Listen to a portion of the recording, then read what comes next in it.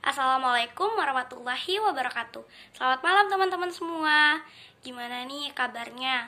Semoga sentiasa dalam lindungan Allah Subhanahu wa taala dan puasa kita makin lancar ya teman-teman.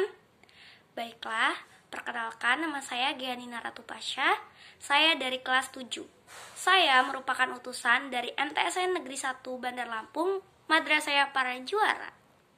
Nah teman-teman, pada vlog edisi kali ini aku pengen sedikit berbagi cerita nih ke kalian yang berjudul Asyika Belajar di Madrasah.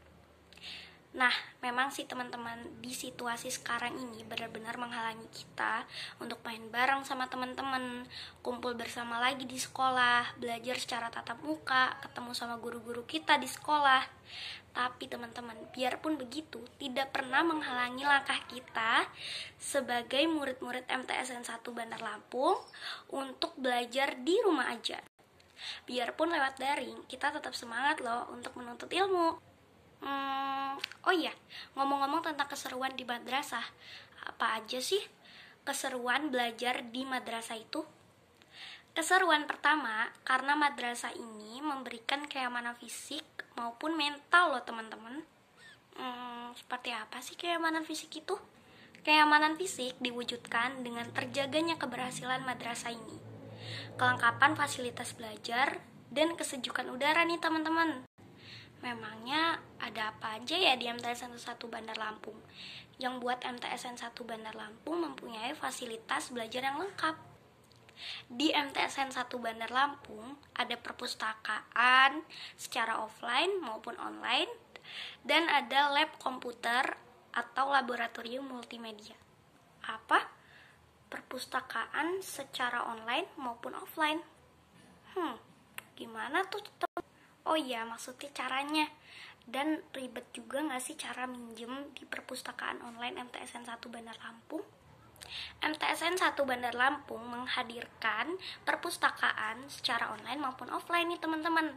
Jadi untuk perpustakaan yang secara offline, kalian cukup aja datang ke MTSN 1 Bandar Lampung, pilih-pilih buku yang mau kalian baca, so langsung kalian baca aja deh. Oh iya, Jangan lupa ya, daftar dulu kalau mau minjem bukunya. Dan satu lagi nih teman-teman, cara minjem di perpustakaan online MTSN 1 Bandar Lampung sama sekali nggak susah, alias gampang banget.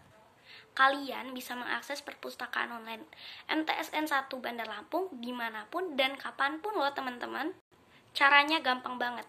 Tinggal buka laman web MTSN 1 Bandar Lampung, setelah itu pilih deh menu perpustakaan.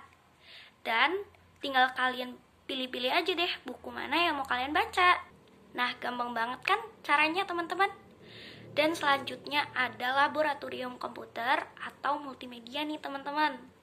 Fungsinya untuk apa sih?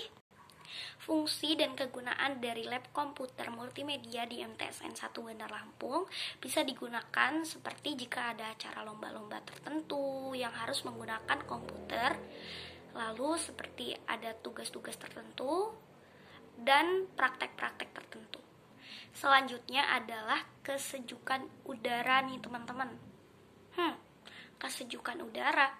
Emang di MTSN 1 Bandar Lampung ada apa ya? Nah, yang menyebabkan udara di sekitar MTSN 1 Bandar Lampung terasa sejuk dan segar karena MTSN 1 Bandar Lampung punya tanaman bunga, tanaman buah dalam pot, dan tanaman bunga nih teman-teman. Nah, itulah sebab mengapa lingkungan di sekitar MTSN 1 Bandar Lampung sentiasa terasa sejuk dan segar. Nah, tadi kan ada keamanan fisik maupun keamanan mental. Hmm, kalau kenyamanan mental itu seperti apa ya? Nah, kalau kenyamanan mental diwujudkan dengan melaksanakan ibadah dan penanaman budi pekerti. Teman-teman, demikianlah sharing saya tentang keseruan belajar di madrasah. See you next time and thanks for watching. Terima kasih and wassalamualaikum warahmatullahi wabarakatuh.